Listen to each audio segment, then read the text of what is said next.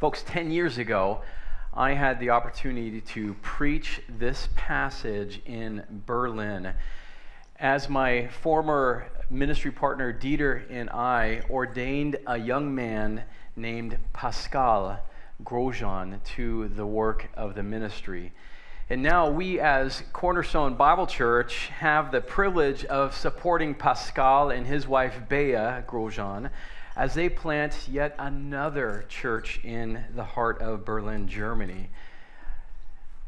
In today's passage, we're going to see 10 characteristics that marked the Apostle Paul's ministry, making it one of the most effective and God honoring ministries that this world has ever seen.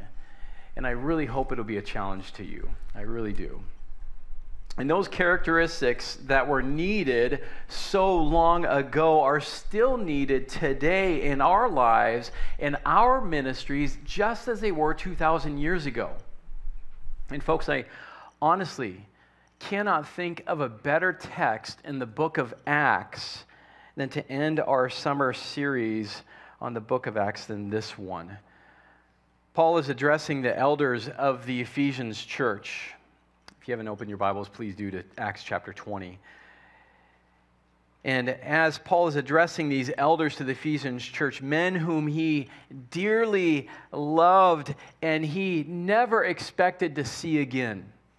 And so he pours out his heart to these men by giving them really 10 principles, right, that drove his own ministry throughout the years imploring them, these shepherds, these under shepherds, to take care of God's flock.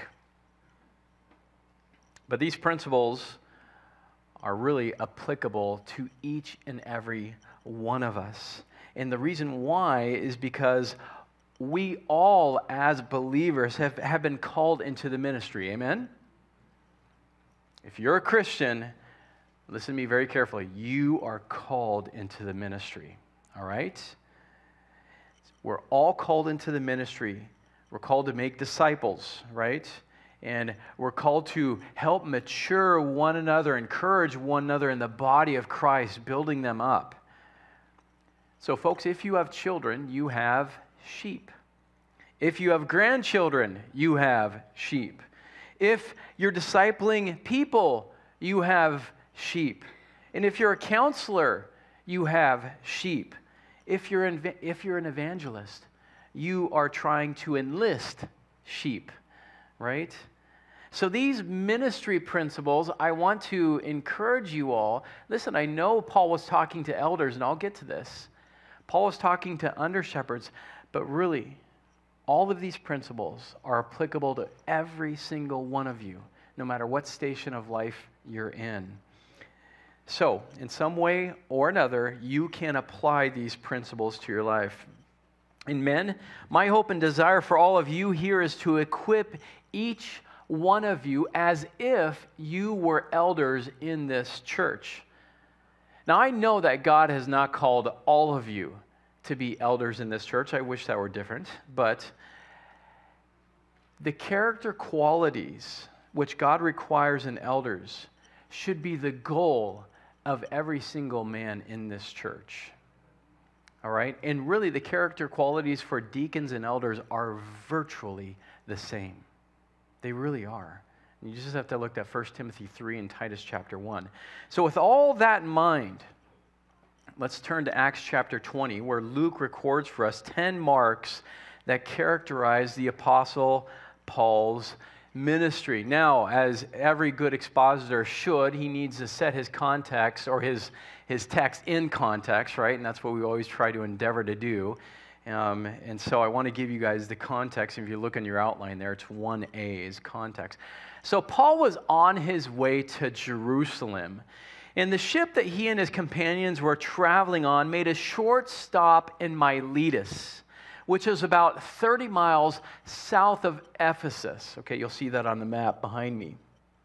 Paul was, was hurrying to try to get to Jerusalem by Pentecost. But even though he was in a hurry, his genuine love and concern for this church compelled him to give one final exhortation to its leaders. So Paul sent and asked the elders in Ephesus to come and meet him in Miletus. Now, he could have traveled up to Ephesus, but I think he knew that that would delay him longer, right? It's hard to break away at a family reunion or from family or friends, right? Whenever I go to Germany, it's hard to say goodbye. And so I can imagine a beloved uh, apostle and shepherd trying to say, hey, this is going to be really hard. I'm just going to call a group of men down here, and, and, and I, I have one last exhortation for these guys. Paul loved the church in Ephesus.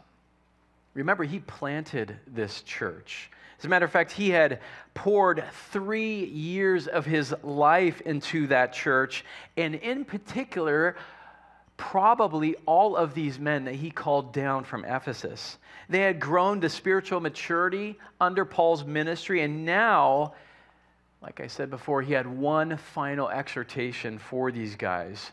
So let's look at verses 18 and 19. Let's all stand together for the at least this first couple of verses here. And the the, the very first mark that characterized Paul's ministry was that he was a superb shepherd. In fact, I would say that he was a shepherd of shepherds. So let's read these first two verses together, standing as we read God's word. And when they had come to him, he said to them, You yourselves know from the first day that I set foot in Asia how I was with you the whole time, serving the Lord with all humility and with tears and with trials which came upon me through the plots of the Jews. You may take your seat. It's probably one of the shortest texts we ever have to stand for and sit back down. Now, from these two verses alone, we see a number of things that distinguished the Apostle Paul's ministry and, and really him as being a superb shepherd of God's flock. First of all, and here it is, he spent time with the people. That might come as a shock to you, right? He spent time with the people. He said this, look at, look at verse 19 or 18, excuse me. He said, You yourselves know from the first day that I set foot in Asia how I was with you the whole time. In other words, Paul was not always locked up into his study, but he was with the people. He spent lots of time with them. He knew them and they knew him. They were his priority.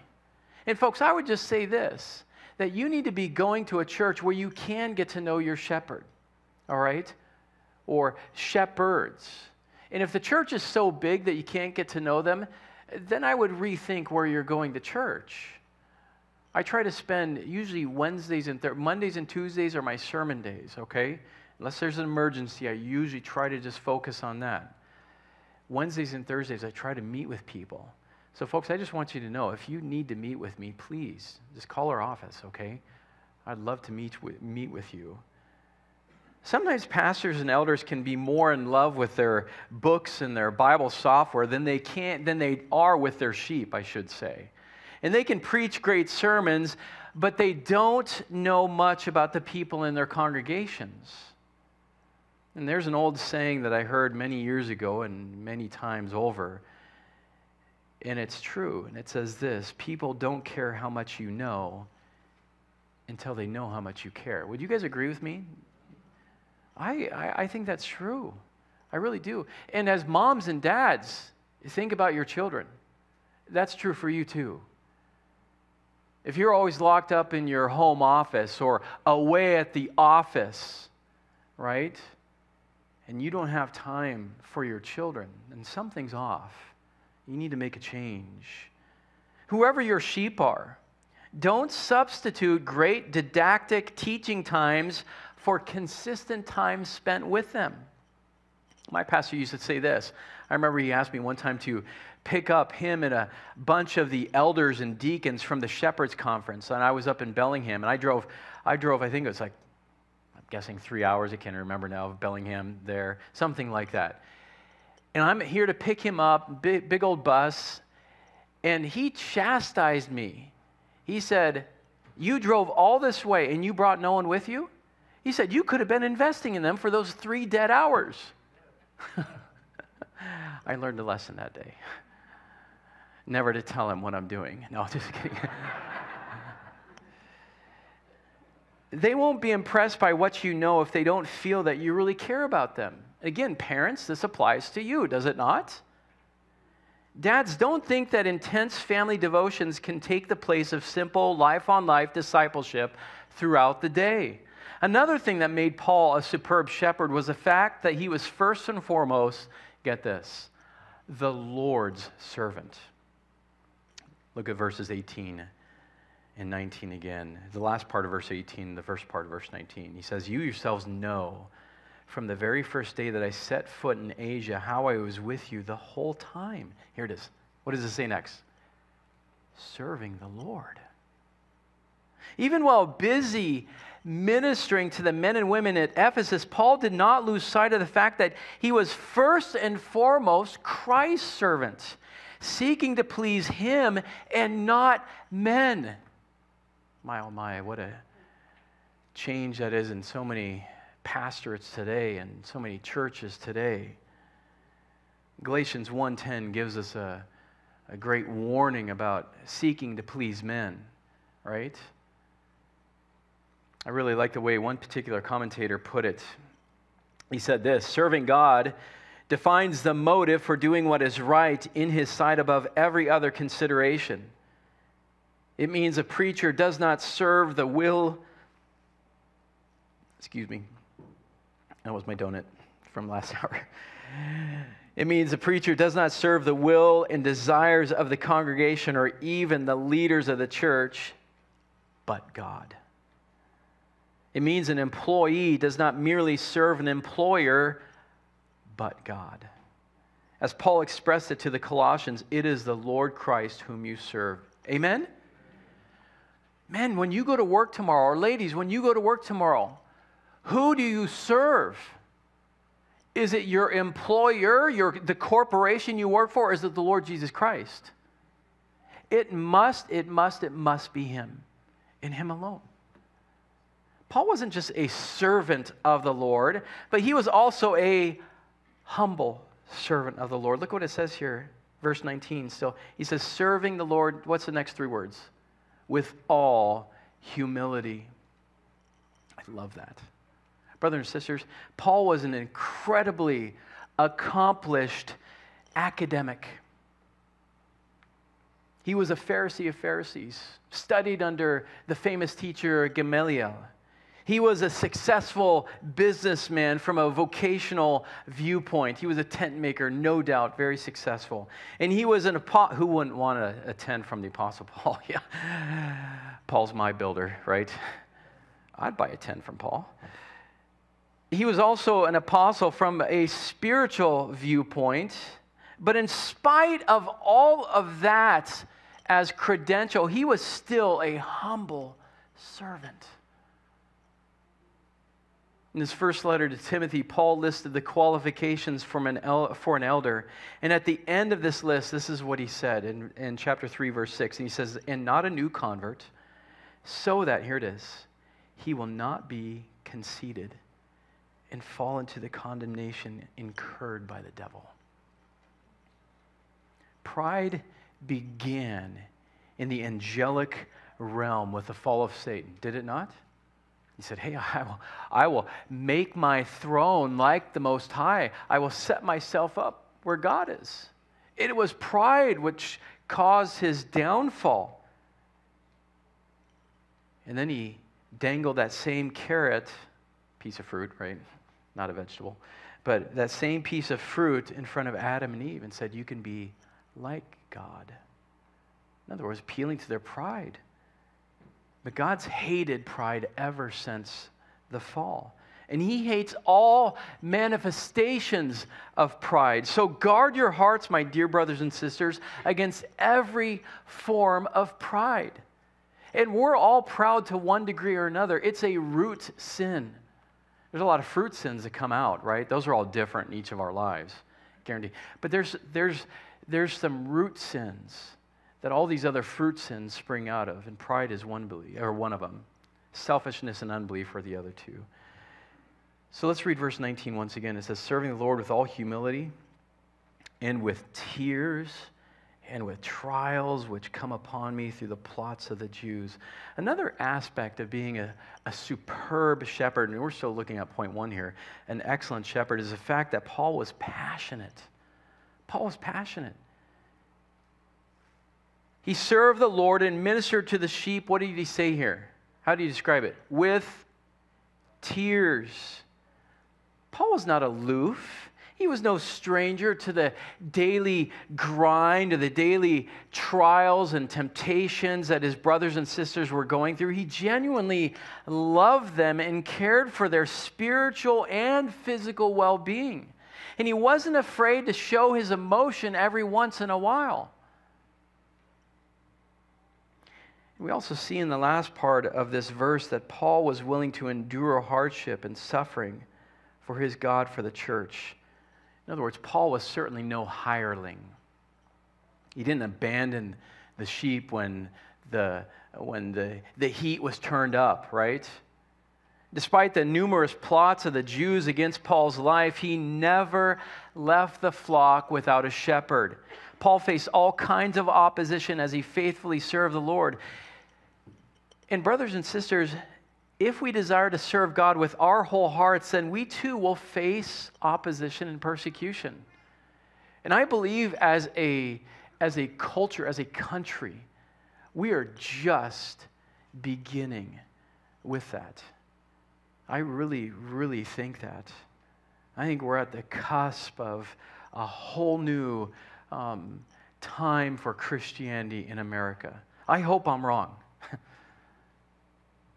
2 Timothy 3:12 says this, indeed all who desire to live godly in Christ Jesus. Is that you guys? That's me. And now look at the last part. Will be persecuted. You can bank on it. It will cost you something to be a Christian. And if it doesn't, something's probably wrong. One commentator put it like this Some some judge the success of a servant of God by how large or widespread his ministry is, how many degrees he has, or how much publicity he receives.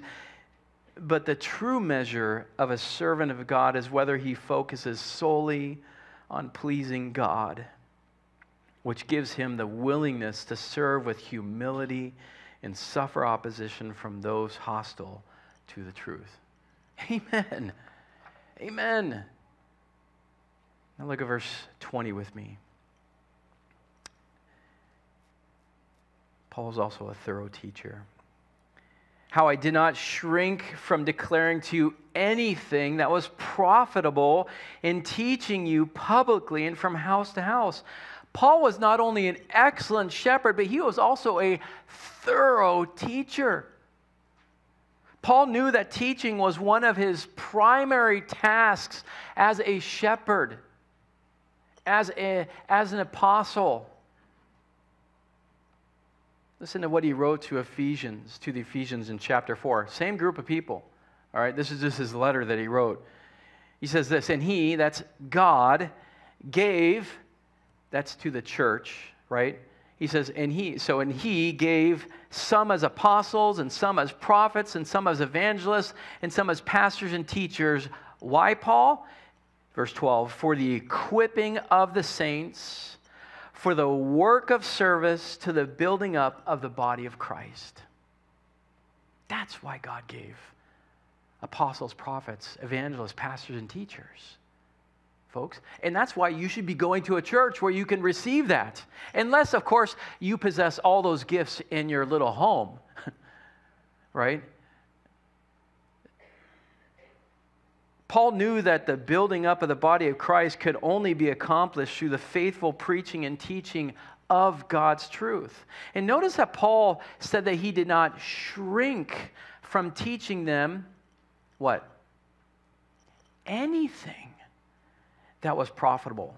In other words, he held, no, he held nothing back no doctrine, right? No exhortation, no admonition that was profitable. Paul is willing to lay it all out on the line simply because he loved the Lord first and foremost, and that love transferred down to a love to the people, and then he didn't care, right? because he was going to teach and train them. And in 2 Timothy 3 16, 17, Paul says that all of Scripture is what? Profitable. Then there is nothing in it which we should avoid teaching. Amen? Paul never changed his message because he thought someone would be offended. Right? Furthermore, he also taught both, he, it says it here, he's taught both publicly and privately. In other words, a true servant of the Lord will teach wherever he is, whether in public teaching, in a public teaching situation, or in a private home teaching situation. There are different obviously different benefits which could accompany different venues for teaching. But Paul knew how to make the most out of every opportunity, whether it's two or 20 or 200 or maybe 2,000. Let's look at the next mark of the apostles' ministry. It's found in verse 21. Look at verse 21. Again, he's talking to these Ephesian elders who had come down from Ephesus. They're meeting in Miletus, right? And Paul was basically, hey, these are his final words. At least Paul said, hey, I, I, I'm never going to see you guys again. He says, as solemnly testifying to both Jews and Greeks of repentance toward God and faith in our Lord Jesus Christ. Paul didn't just talk about evangelism and sharing the gospel with the lost, he did it. In other words, he was an excellent evangelist as well. That's the third mark. All right? He was an excellent evangelist. He didn't just talk about missions, right? Wax eloquent about them, but he was intimately involved in them. Paul loved the gospel message and was utterly convinced of its truthfulness and of its power to to convince, convict, and convert the lost. Romans 1:16. Paul wrote, "For I am not ashamed of the gospel," right? For it is the power of God for salvation to everyone who believes, to the Jew first and also to the Greek. Amen. Then in his letter to the Corinthians, he said this in 1 Corinthians 9. He says, Woe is me if I do not preach the gospel. Do you feel the same way? Folks, woe is you if you don't preach the gospel. When was the last time? I'm not going to ask for a show of hands. When was the last time you shared the gospel with someone? I'm talking about the real gospel. When is the last time? Paul knew that no view of the ministry that failed to have a focus on reaching the lost could possibly be honoring to the Lord. Thus, he wore not only the, the hat as a, as a pastor and, and shepherd and teacher to the flock of God that God entrusted to him, but he also wore the hat of what? An evangelist. He also wore that hat as well. And, brothers and sisters, that same priority, that same responsibility goes to each and every one of us. We cannot focus solely on building up those within the flock of God. If we did that, we'd end up with a bunch of fat sheep, right? All the while turning a deaf ear to the, the bleeding and lost lambs outside of these four walls. Paul never neglected either group. He was faithful in discipleship and evangelism. Now look with me at verses 22 and 23. Look at the next the next mark. And now behold, bound in the spirit, I am on my way to Jerusalem, not knowing what will happen to me there, except that the Holy Spirit solemnly testifies to me in every city, saying that bonds and afflictions await me. Another mark of faithful ministry is one's rock solid belief in God's sovereignty. All right? Now, it's easy to proclaim belief in God's sovereignty when everything is going fine and dandy, correct? Everything's going your way. Of course, I believe in God's sovereignty. Look how He's blessed me, right? But what about those times when things are difficult, dangerous, or even life threatening? What about those times? Do we, what, what about on November 4th, right? How are we going to respond when things don't go our way?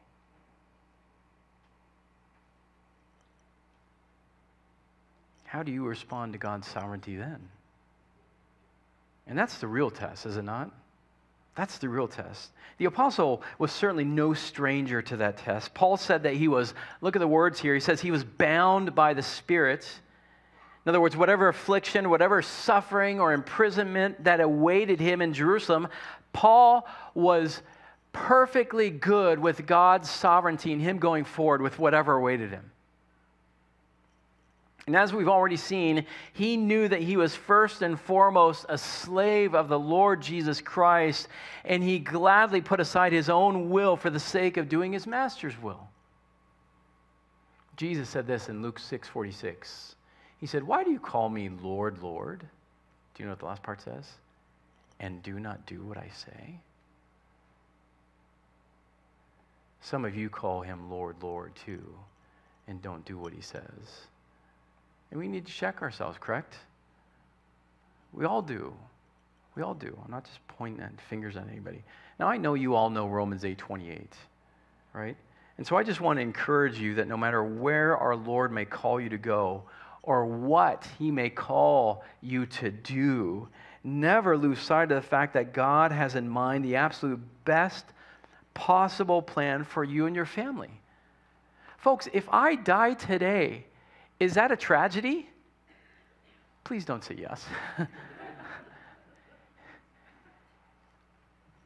I'll be in God's presence. Do I have to fear death? I don't care if it comes through cancer or a car wreck or COVID 19. You should not fear death. If you're a believer, you shouldn't be in fear of death. Doing with that timidity, right? No, any account as dear to myself. Praise God. There it is right there, right? He says this, so that I may finish my course in the ministry which I received from the Lord Jesus to testify solemnly of the gospel of the grace of God. Paul is faithful to his calling. That's number five on your outline. And this point follows naturally on the heels of Paul's confidence in God's sovereignty. Only one thing mattered to Paul, and that was to finish the work that God had called him to do. Even his own life was insignificant in comparison to the utter importance of faithfully fulfilling his calling. Brothers and sisters, we must never forget how important faithfulness is to our faithful God. Does God want to see faithfulness in you and I? You bet he does. As a matter of fact, that's the only thing that he requires of you and me. 1 Corinthians 4 2 says this Moreover, it is required in stewards that one be found, let's say, productive, that you lead 100 people to know the Lord in your lifetime, you start a, a, a ministry, right? A 501c3. He says that one be found faithful. That's it. He calls you and I to faithfulness. Paul was faithful to his calling. In other words, he never quit. He never quit. Are you, are you feeling like quitting, folks? You feeling like quitting? If you do, please come and talk to me. Let's pray. Because God just wants you to be faithful. And I know this whole wide world and Satan would like nothing better than to peel you off. For what? So he can play games with you? Paul himself. Maybe a verse a day keeps the devil away. The answer is you won't be able to do that. Now look at verses 28 through 31 with me, where we see the seventh mark shepherd. Savage wolves will come in among you, not sparing full shepherd, as that he is always. Please, life. On guard for heart. Richard Baxter writes Take heed to yourselves, lest you live in those sins which you preach against in others, and lest you be guilty of that which daily you condemn. Will you make it your work to magnify God, and when you have done, dishonor him as much as others? Will you proclaim Christ's governing power and yet condemn it and rebel yourselves? Will you preach his laws and willfully break them? And I like how he says this next. He says, If sin be evil, why do you live in it? If it be, if it be not, why do you dissuade men from it? If it be dangerous, how dare you venture on it? If it be not, why do you tell men so? If God's threatenings be true, why do you not fear them? If they be false, why do you needlessly trouble men with them and put them into such frights without a cause? Do you know the judgment of God, that they who commit such things are worthy of death, and yet will you do them? Thou that teachest another, teachest thou not thyself? Take heed to yourselves, lest you cry down sin and yet do not overcome it. Lest while you seek to bring it down in others, you bow to it and become its slaves yourselves. From, for of whom a man is overcome, of the same is he brought into bondage to whom ye yield yourselves servants to obey, his servants ye are, to whom ye obey, whether of sin unto death or of obedience unto righteousness. He said this, O brethren, it is easier to chide at sin than to overcome it. Wow. Now, if you didn't get all of that, go back and read it on our slides, okay? on our website. May we all be on guard. First of all, for our own spiritual lives, you guys. It starts there, right? And then we'll see clearly to help our brothers or sisters in need, wherever they're at. And then we can see things clearly. It's a, it's a log speck principle, right? We need to first take the log out of our own eye so that we can see clearly to take the speck out of our brother's sister's eye. Now look at our text once again. Verse 28, he says, Be on guard for yourselves and for all the flock among which the Holy Spirit has made you overseers to shepherd the church of God, which he purchased with his own blood. He says this I know that after my departure, savage wolves will come in among you, not sparing the flock. And from among your own selves, men will arise, speaking perverse things to draw away the disciples after them. Therefore, be on the alert remembering that night and day for a period of three years, I did not cease to admonish each one with tears. Not only were the Ephesian elders to be on guard for themselves to make sure that they weren't hypocrites, right? But for the spiritual well being of the flock as well. Folks, it's not enough for the shepherd to feed and lead his flock. Do you guys realize that? we need to do three things. It's usually uh, we need to lead, feed, and protect, all right, as shepherds. But it's not enough just to feed and lead. Sheep are defenseless creatures. No big long fangs, no, no cat like claws, right? So he must also, the shepherd must also be on guard 24 7 to protect against predators. And under the inspiration of the Holy Spirit, Paul said that savage wolves from the outside would do everything they could to come in to devour the flock, right? And folks, we're seeing that on the horizons, are we not? We're seeing that whether it's through Olympia or Washington, D.C., they're coming. They really are. But then he also said that there would be enemies from where? From within. From within the church that would arise and try to draw the disciples away to follow after them. And we've had some men like that in this congregation over the years. We really have. So, brothers and sisters, let us stay vigilant for the good of the whole flock, guarding against the savage wolves from outside the church and the false teachers from within the church. And only when we've armed ourselves with this book and we know what it says can we test everything against the perfect backdrop.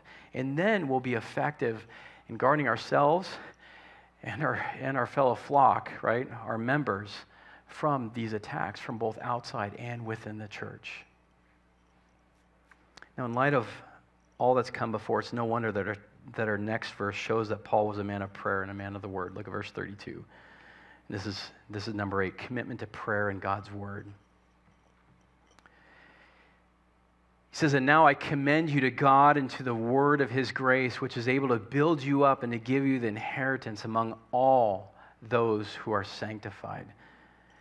So when Paul says, I commend you to God, he means that, that, that he would pray for these elders and these leaders, these pastors and teachers. And Paul understood that all his strength came from prayer and the word.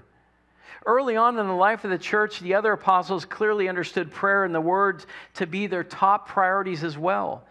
Remember this, Acts 6 4? We talked about that several weeks ago. They said this the, the, the apostle says, But we will devote ourselves to prayer and to the ministry of the word. Remember that? The early church lived in a constant atmosphere of prayer. And beyond a shadow of doubt, Paul was a man who sincerely believed in prayer. One commentator said the following He says, There is no substitute for prayer. For prayer acknowledges dependence on God and lines us up with his purposes. Prayer also allows God to glorify himself by answering John 14, 13. Without it, the under shepherd's attempts to feed, lead, and guard the flock will be in vain. Good intentions, good ideas, or good programs cannot overcome the effectiveness of prayerlessness. End quote. Men, are you praying with your wives each and every day? Are you praying for your own spiritual well being and then the spiritual well being of your flock. And maybe the, the disciples that you're making, and maybe the, the, the people you're trying to reach out to and evangelize, right? Your pre disciples. Maybe when we don't see any work going on, at least from our perspective, it's because we're not praying enough. I would, I would pose that for you all to take time to really contemplate. And God's Word is the other foundational pillar of any God honoring ministry. So it's prayer and the Word. Prayer and the Word. And it's essential that any leader of God's church be a man of this book. It really is.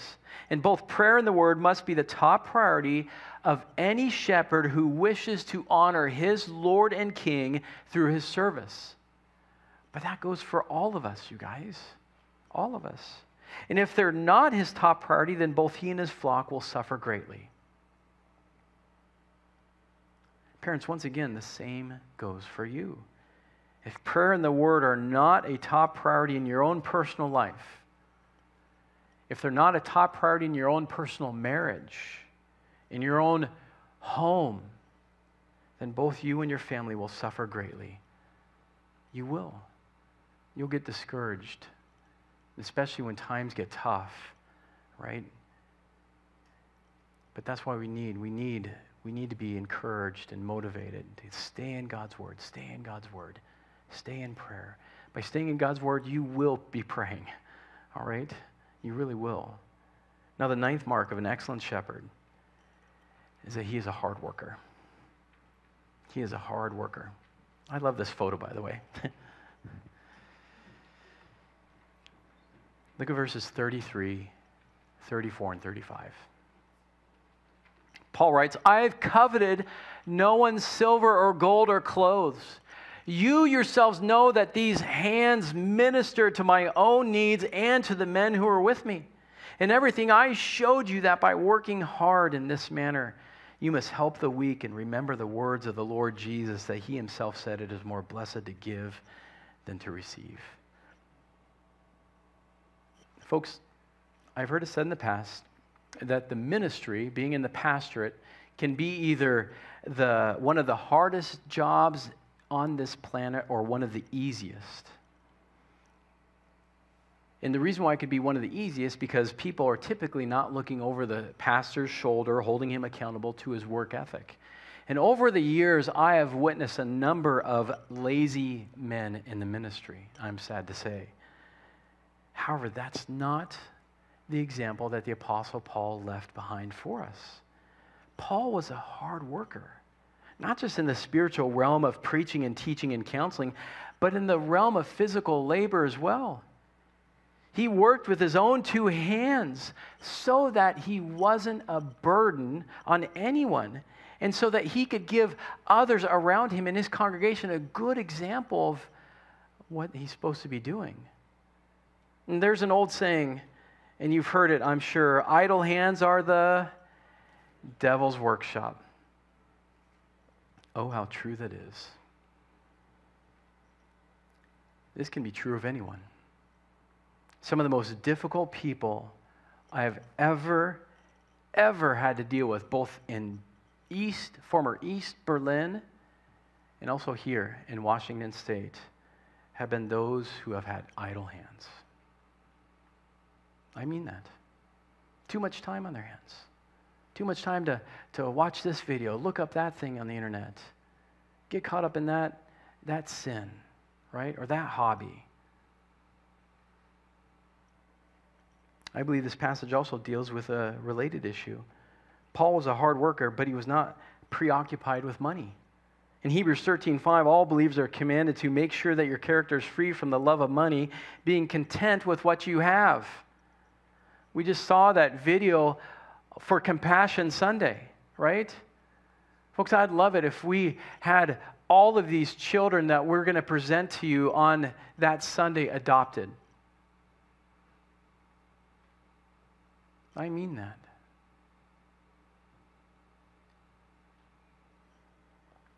As one author noted, a truly God honoring life and ministry must focus on giving, not getting. Brothers and sisters, God will not bless you or your ministry if you're in any way preoccupied with money. And the love of money or materialism is a mark of a false teacher, not that of a true and faithful disciple and slave of the Lord Jesus Christ. And I love how the Lord communicated this thought in the Sermon on the Mount. He said this in Matthew 6:33, "But seek first his kingdom and his righteousness, and all these things will be added to you." So, what were all these things that the Lord was referring to? Oh, just look at the context. Just go read the verses beforehand. And he was actually answering the common questions that people have What shall we eat? What shall we drink? And what shall we wear for clothing? Sounds kind of similar, right? And our Lord's answer to those men and women who heard him on that day when he was teaching his most famous sermon of all times is that he said this but seek first your 401k, right? A good investment policy, good return on your. No, he said, but seek first his kingdom and his righteousness, and all these things will be added to you. My father in law was once approached by a young Brazilian man. He was there, him and his wife were there for 59 years in the middle of the jungle. And this young man asked him if he would teach him to be a preacher. And Bill wisely asked him this question Why do you want to be a preacher? Because I don't want to spend my life working my fingers to the bone on a farm, admitted the young man candidly. Now, needless to say, that was the wrong perspective, right? That was the wrong perspective. Paul was not in the ministry for a salary or for a cushy job, for a retirement plan or anything else like that. He poured his life into the people day and night, and then he worked on the side, and it says, so as not to be a burden to any one of you guys. I didn't covet anything from you guys. You guys know that.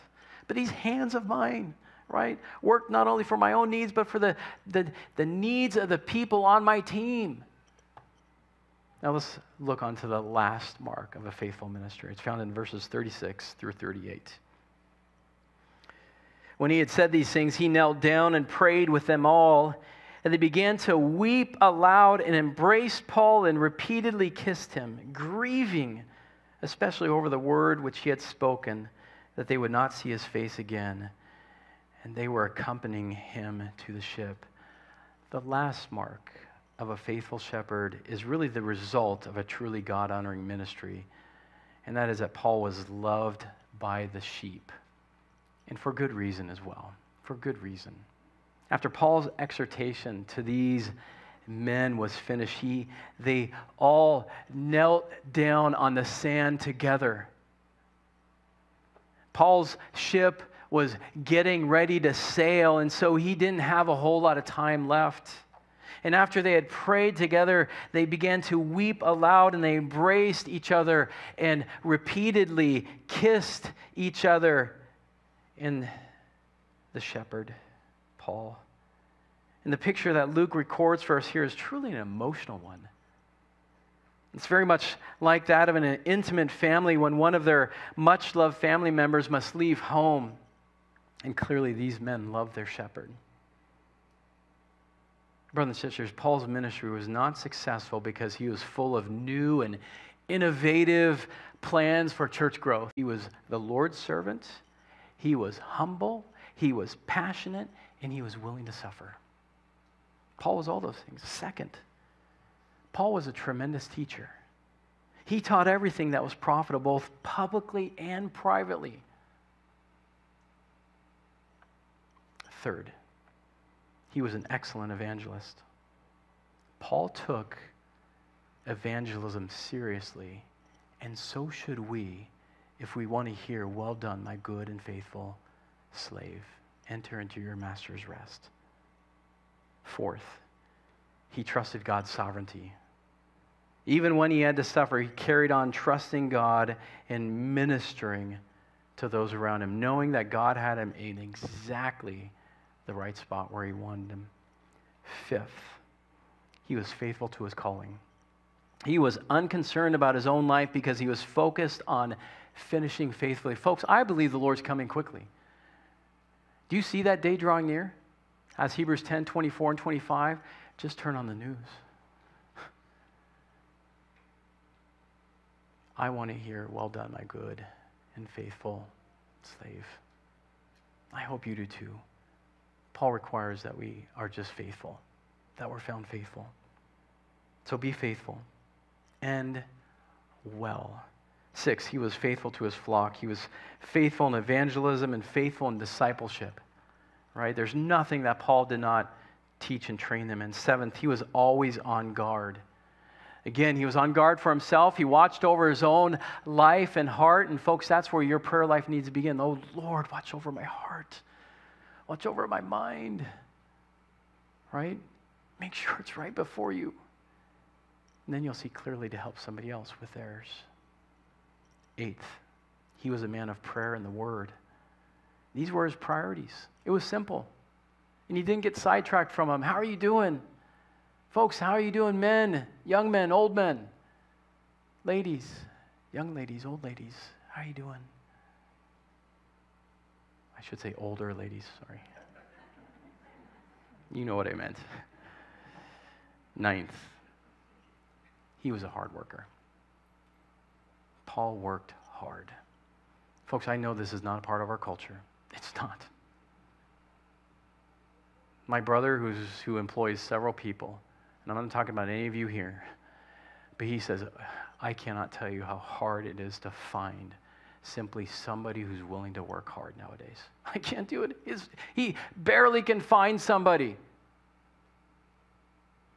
Is that not permeated our culture? Okay. But has it permeated you, who should be different than the culture, or me? He worked hard to provide our children. It's my last page, so stay with me. Do we pour God's word into our lives so that we can minister effectively to other people from that overflow? And do we bathe each day in prayer so that our children learn to take everything to prayer, uh, to God in prayer themselves? And what about our relationships within the church? Are we doing all that we can to encourage one another to learn and follow the whole counsel of God? And do we share the glorious gospel of grace with unsaved friends. It changed our lives. So do we share it with others, knowing that it can share theirs as well, or change theirs as well? Sorry, I do have another half page. Just realized that. Brothers and sisters, we are responsible for the relationships that God has placed within our sphere, correct? So let us follow the example of the Apostle Paul and be faithful in ministering in the context in which each one of these relationship that he's given us for the glory of God. Amen? Let's pray. Lord, we thank you again for just bringing us to the end of the summer. I didn't even, didn't even know if we'd make it, Lord. But Lord, I, I thank you for every day that you do give us. And I pray for faithfulness, not just for myself and my wife and my children, but my beloved church family, this family of believers. Lord, please work in all of our lives. Help us to model our ministry after the Apostle Paul's that we, so, that we see so clearly laid out for us in Acts chapter